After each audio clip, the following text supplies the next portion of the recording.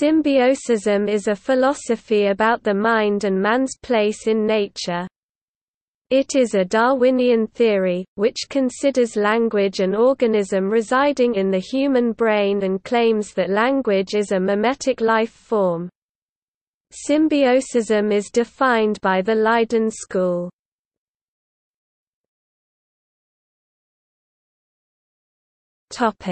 Overview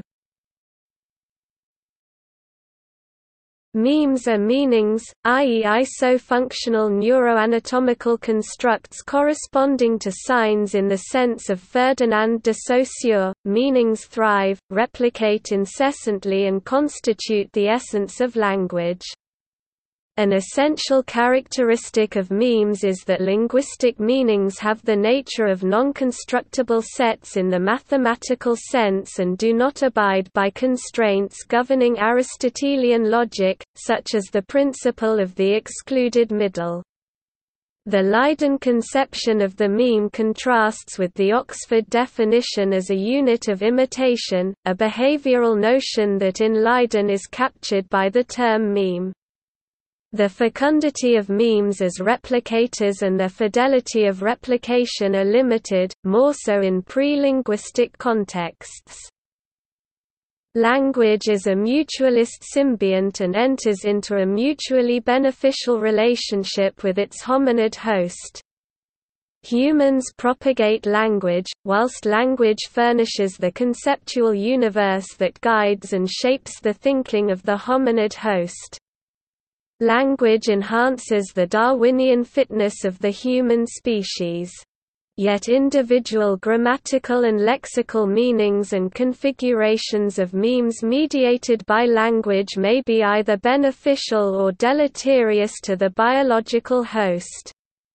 The symbiosis is rendered more complex than just simple mutualism, both by the physiological discrepancy between language as an overall condition and the nature of individual ideas conveyed through language, as well as by the ecological difference between vertically and horizontally transmitted memes.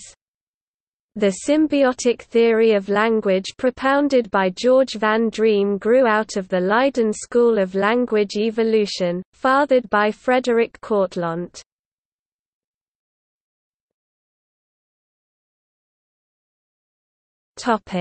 Resources Van Driem, George 2001. Languages of the Himalayas, an ethnolinguistic handbook of the Greater Himalayan region, containing an introduction to the symbiotic theory of language 2 volume. Brill. p. 1412. ISBN 90-04-12062-9 Van Driem, George 2003.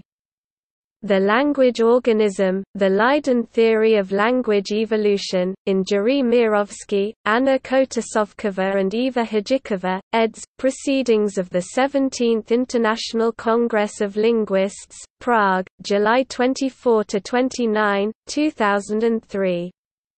Prague, Matfis Press v Vydavatelstvie Matematiko Fyzikalny Faculty University Karlovy, Van Driem, George, 2004.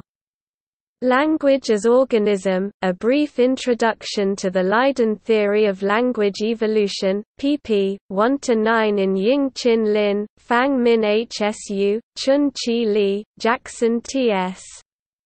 Sun, HSIU Fang Yang and Dar Ah Ho, eds. Studies on Sino-Tibetan Languages, papers in honor of Professor Huang Cheng Gong on his 70th birthday Language and Linguistics Monograph Series W4. Taipei, Institute of Linguistics, Academia Van Driem, George, 2005. The Language Organism, The Leiden Theory of Language Evolution, pp. 331–340 in James W. Minett and William S. Y. Wang, eds. Language Acquisition, Change and Emergence, Essays in Evolutionary Linguistics. Hong Kong, City University of Hong Kong Press. Kortlandt, Frederik Hermann Henry, 1985. A Parasitological View of Non-Constructible Sets, pp. 477–483 in Ursula Pieper and Gerhard Stickel, eds. Studia Linguistica Diachronica a Synchronica, Werner Winter Sexagenario anno MCMLXXXIII gratis animus abius collegius, amicis discipulis goblata. Berlin, Mouton de Gruyter. Kortlandt, Frederik Herman Henry, 1998. Syntax and Semantics in the History of Chinese, Journal of Intercultural Studies, 5 to 167-176. Click here to read. 1. Kortlandt, Frederik Herman Henry, 2003.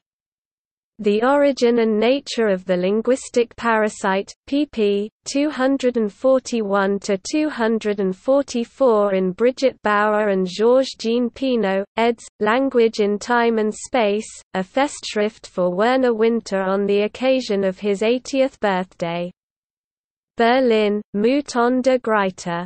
Click here to read http colon slash slash www.kortlandt.nl slash publications slash art 206e.pdf Salverda, Reinier, 1998. Is language a virus? Reflections on the Use of Biological Metaphors in the Study of Language, pp. 191–209 in Mark Janse and Ann Verlinden, eds. Productivity and Creativity. Studies in General and Descriptive Linguistics in honor of E. M.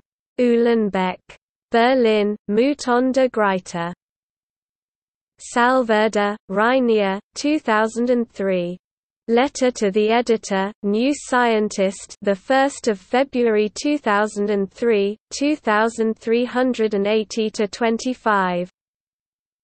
Wiedenhof, Jeroen Martin, 1996.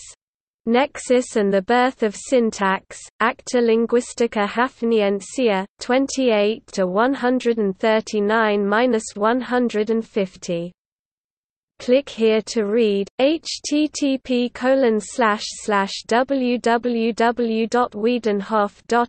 slash ul tk pbl articles slash birth 6 pdf